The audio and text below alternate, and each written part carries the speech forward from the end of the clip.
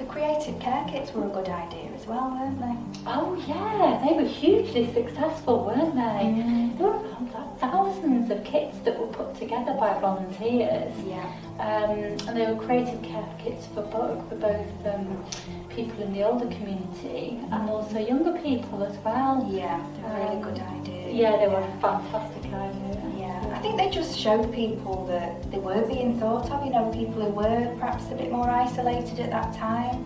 They Yeah. just showed that, you know, you are being thought about. Yeah, because they, were- they, they put them together and they delivered, helped deliver them as well, didn't they? Yes, Yeah, yeah, so some there was did, like yeah. two, two things going on there. Mhm. And I know speaking to some of the volunteers putting together, they did really enjoyed putting together those kits, didn't they? They did, Yeah. they did.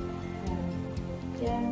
So was thinking about um, also for the love of food as well, Sammie Bellamy, you know, sort of, you know, they had some of our volunteers as well to help with their Delivering food. delivering food. Yeah, yeah, that was, Yeah. and that was sort of that sort of went on through really throughout the whole pandemic. It did, and it started in response to the pandemic as well, didn't it? Helping some of the more vulnerable people in our community, making sure they got a meal. Yeah. Um, Which was much needed. It was, yeah. Yeah, especially with sort of everybody, especially during lockdowns as well. Mm.